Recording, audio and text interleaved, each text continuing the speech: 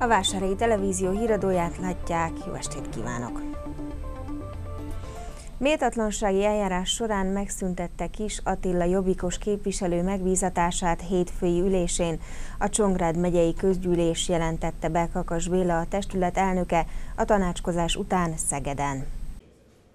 Kakas Béla, a Csongrád megyei közgyűlés elnöke az ügyet tárgyalós zárt ülést követően elmondta, a testület megállapította, hogy Kis Attila elnöki posztja a Sándor Móric Egyesületben az önkormányzati törvény szerint összeférhetetlen képviselői megbízatásával. Mivel ezt az összeférhetetlenségi okot a politikus nem hozta a közgyűlés tudomására, a testület megállapította méltatlanságát, ezzel megszűnt a képviselő megbízatása.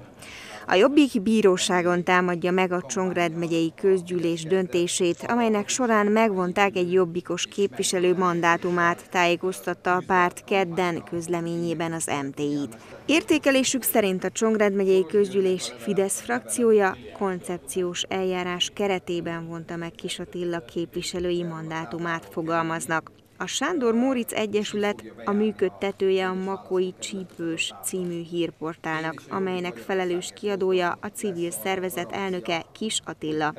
Az önkormányzati törvény szerint az önkormányzati képviselő nem lehet médiatartalom szolgáltató természetes személy, jogi személy gazdasági társaság legfőbb szervének, ügyvezetésének tagja, személyes közreműködője, képviselet ellátására jogosultja. A megyegyűlés erre hivatkozva vonta meg a képviselő mandátumát. Bemutatták Pálinkó György az első világháború című könyvét az emlékpontban. A mű gazdagon illusztrált és számos érdekes információt tartalmaz az idén száz éve történt eseményekről. Az emlékpontban tartották meg Pálinkó György az első világháború című kötetének bemutatóját. A Szentesi Horváth Mihály Gimnázium történelem tanára elmondta, hogy az első könyvét Napóleonról írta, majd később felkérték több mű megírására is. Úgy gondolta, hogy a második világháború történetének megírása után az első világháborúval szeretne foglalkozni. A könyvei elsősorban a diákoknak szólnak, és korábban olyan jellegű munkái születtek, amelyek igazán népszerűvé váltak a fiatalok körében. Azonban nem volt egyszerű a feladata, mert elmondása szerint a diákok számára nem elég csupán a puszta tényeket felsorakoztatni egy könyvben, érdekessé és tartalmassá is kell tenni az adott történelmi korszakot.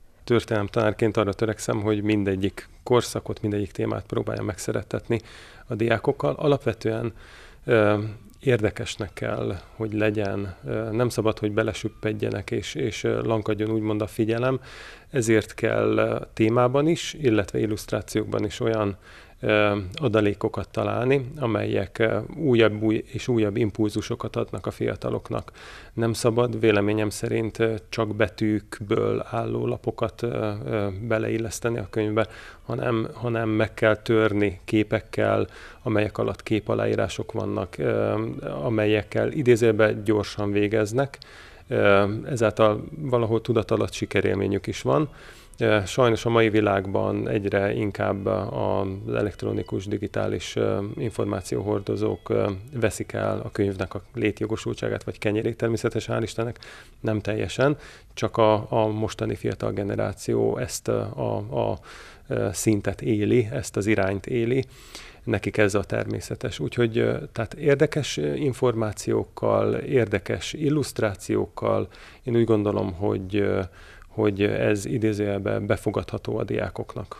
A szerző hozzátette, hogy a könyvbe családi emlékeket is beleszőtt, valamint további a vérzivataros korszakkal kapcsolatos visszaemlékezések, művek is felhasználásra kerültek, amelynek eredményeképpen a fiatal generáció számára is egy rendkívül érdekes és számos információt magába hordozó alkotás került kiadásra. December 7-éig kell jelentkezni az országosan kötött időpontú jövő év január 19-én tartandó központi írásbeli felvételire, amely az első lépése a gimnáziumi felvételi eljárásnak. képzési programjairól a héten nyitott iskola hete címmel tart nyílt óralátogatással és délutáni programokkal egybekötött tájékoztatót a Német László Gimnázium általános iskola. Hétfőtől csütörtökig nyitott iskola hete beiskolázási programot tartanak a héten a Német László Gimnázium általános iskolában. A cél, hogy az iskola mindennapjaiba kaphassanak bepillantást a leendő diákok és a legkülönfélébb tanórákat látogathassák meg, mielőtt meghozzák a döntést és beadják a jelentkezési lapjukat. Minden délelőtt négy órát kínálunk fel a szülők, illetve a leendő gimnazisták számára mindenféle tantárgyból a történelemtől a fizikáig, amit, amit megtekinthetnek, ahova bemehetnek, megismerkedhetnek nyilván azokkal a kollégákkal is, akik nagy valószínűség szerint ezekben az osztályokban majd tanítani fognak, illetve a délutáni programok pedig egy kicsit kötetlenebb formában. Hétfőn volt egy angol nyelvi délután, a mai napon a német és a francia nyelvvel ismerkedhetnek meg 3 kor, illetve szerdán pedig a Gyulai József Természettudományos Műhelyben játékos kísérletek a természettudományok szépségeire hívják fel a gyerekek figyelmét. Hát csütörtökön kora este pedig 5 órakor a, e, a szülők számára tartok majd én egy olyan beiskolázási tájékoztatót, ahol részletesen bemutatom az iskola képzési programját, képzési szerkezetét, a leendő gimnázium osztályfőnököket. A Német László gimnázium képzési formáját a hatodikos diákok számára hirdeti meg, akik 6, illetve 6 plusz 1 évet tölthetnek az intézményben. 70 tanuló folytathatja tanulmányait a két induló gimnáziumi osztályban. Az egyik osztály a nyelvi előkészítő évfolyammal kezd, itt óraszámuk többsége az első és második idegen nyelvekből, illetve informatikából áll össze, majd az ezt követő évben kezdődik a hat éven át tartó gimnáziumi tananyag elsajátítása, amelyben a nyelvek mellett a matematikát tanítják emelt óraszámban. A másik osztály pedig az emelt szintű természettudományi osztály, ahol a természettudományos tantárgyaknak a magasabb óraszáma, illetve csoportbontásban ö, tanítjuk, ö, ami azt jelenti, hogy az egyik esztendőben a fizika, a következő a biológia, illetve majd az az a kémia ö, tantárgy kap magasabb óraszámokat, és tizedik évfolyamot követően 11-12-ben történik egy lényegesebb váltás, itt lehetőségük van mind a két osztályba járó tanulóknak arra, hogy azokban a tárgyakból, abból a két tárgyból, amely elképzeléseik szerint majd emelt szintű érettségi tárgyuk lesz, mert olyan egyetemre főiskolára szeretnének menni, ahol ezt a főiskola egyetem előírja, ezekből még plusz órákat vehetnek föl, és külön csoportot alkotva, igen magas óraszámban, tehát például matematikát heti 6 órában, mondjuk biológiát, kémiát heti 4-4 órában tanulva készülhetnek föl a főiskola egyetemi tanulmányaikra. Korlátozott számban 5-6 tanuló 8. osztály után is beléphet a természettudományos osztályba. A felvételi két pillérre épül. A felvételi pontszám fele az általános iskolában szerzett három tantárgyból a magyar, a matematika és az idegen nyelv tanulása során szerzett érdemjegyekből áll össze, a másik felét pedig a központi írásbeli felvételi teszi ki, magyarból és matematikából, így összesen legfeljebb 100 pontot lehet szerezni. A felvételi 2019. január 19-én lesz, ám erre december 7-ig kell jelentkezni, amelyhez a Német László gimnáziumban jelentkezési lapot is biztosítanak a szülőknek. Megalapításának 65. évfordulóját ünnepli a Vásárhelyi Péceli Attila Alapfokú Művészeti Iskola. A jeles alkalomból november 29-én szoboravatóval, tanári kiállítással és jubileumi tanári hangversennyel teszik különlegessé az eseményt. Jeles dátumhoz érkezett a Péceli Attila Alapfokú Művészeti Iskola. 1953. december 1-én alapították a Hódmezővásárhelyi Zenei Iskolát, és azóta történik hivatalos keretek között a zenei, művészeti, néptánc és képzőművészeti oktatás. Az intézmény elérkezett ahhoz a pillanathoz, hogy megünnepelheti megalapításának 65. évfordulóját. A jeles alkalomból jubileumi tanári hangverseny kerül megrendezésre a Besenyei Ferenc Művelődési Központban 18 órai kezdettel. Továbbá tanári kiállítás megnyitóval és Nagy Attila szobrászművész alkotásának felavatásával is készül az intézmény. November 29-én csütörtökön 17 órakor az iskola Mária Valéria utcai épületében Nagy Attila szobrászművész alkotását fogjuk felavatni. Ez a, az alkotás Nagy Attila szobrászművész felajánlása az iskola számára. Csak egy, egy olyan időpontot próbáltunk keresni, ahol ünnepélyesen, ünnepélyes keretek között tudjuk felavatni ezt a szobrot, és ezért ez a 65 éves jubileumi hangverseny, illetve ünnepség kiváló alkalom arra, hogy ezt megtegyük. 17 órakor tehát a szoboravatás lesz, 17 óra 30-kor a Besenyei Ferenc Művelődési Központ első emeletén a jelenleg az iskolában tanító képzőművész tanároknak nyitunk meg egy kiállítását. Az iskolában négyen tanítanak képzőművészetet pillanatnyilag, tulajdonképpen mindanny, mindannyian aktív művészek a tanítás mellett. Annyi a munkájuk készült már a sok év folyamán, hogy ebből bőven lehet kiállítást rendezni. Több kiállítást is meg tudnánk rendezni. Most a leg szebb, legjobban sikerült munkáikat fogják kiállítani ebből a jeles alkalomból. Vágó János, az intézmény igazgatója hozzáfűzte, hogy a jeles esemény részét képezi a jubileumi tanári hangverseny, amely a Besenyei Ferenc Művelődési Központ színház termében kerül megrendezésre 18 órai kezdettel, amelyen az iskola zeneoktatói nagy számban képviseltetik magukat a színpadon. Részfúvósok, vonósok és zongoristák teszik igazán fenykölté a jubileumi ünnepi rendezvényt. 25 éves fennállását ünnepli a Magyar-Francia Baráti Társaság Hódmezővásárhelyen. Ebből az alkalomból a társaság tegnap délután díszközgyűlést tartott a Városháza dísztermében, ahol annak idején megalakult az Egyesület és elindult a francia kultúrát és nyelvet népszerűsítő program. A mostani eseményen Franciaország tiszteletbeli konzulja is részt vett. A Magyar-Francia Baráti Társaság 1993. január 28-án alakult meg Hódmezővásárhelyen a Városháza dísztermében dr. Rapcsák András néhai polgármester kezdeményezésére.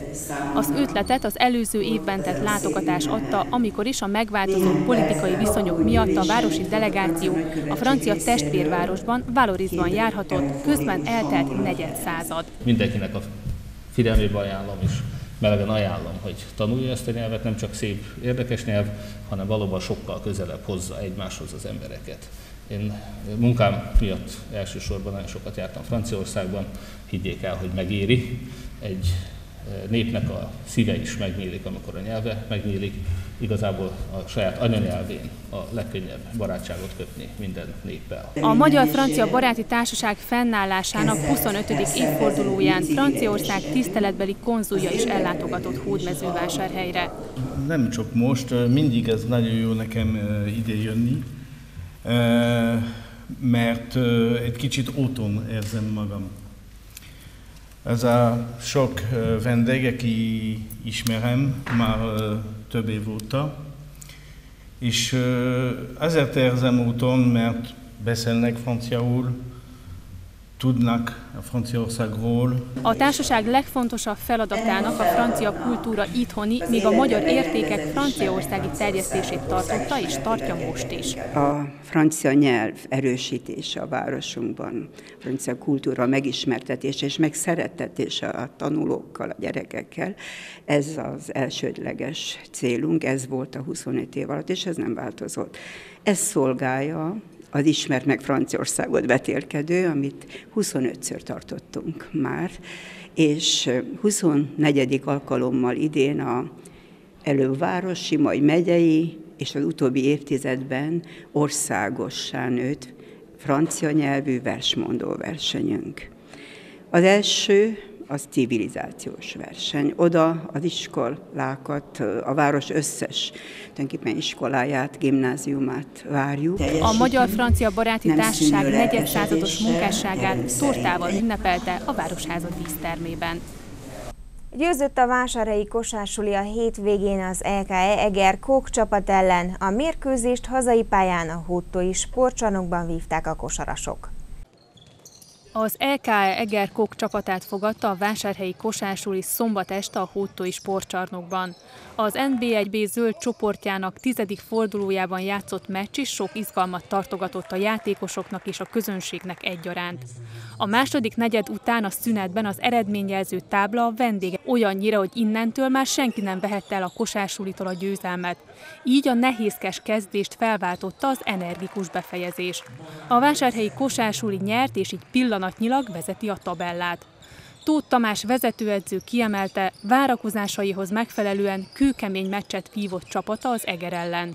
Szerinte férfias volt a küzdelem, mindkét csapatnak gratulált. Míg az ellenfél vezetője Váci Péter úgy nyilatkozott, 25 percig játszottak azon a minőségen, ami a győzelemhez kellett volna, utána fölőjük nőtt a vásárhely, és megértemelten győzött. Így az U20-as csapat ismételten diadalmaskodott. Legközelebb a vásárhelyi kosársúli december 8-án szombaton 18 óra 30-kor lép pályára a sereghajtó KTE Duna Aszfalt vendégeként. Kedves nézőink, a híradó végéhez értünk, munkatársaim nevében is köszönöm megtisztelő figyelmüket, további kellemes estét kívánok, viszontlátásra!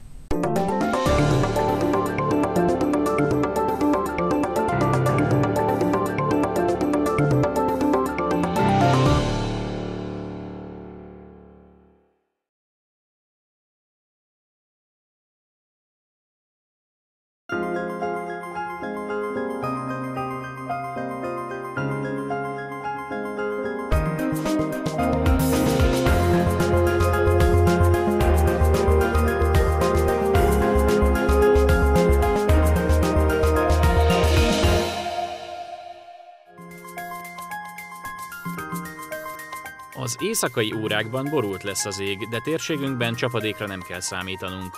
Az északi szél élénk marad, erős lökések is lehetnek. Hajnalra fagypont körül alakul a hőmérséklet. Szerdán csökken a felhőzet, de borongós marad az idő. A szél továbbra is élénk lesz. A legmagasabb hőmérséklet mindössze 3 Celsius fokig emelkedik.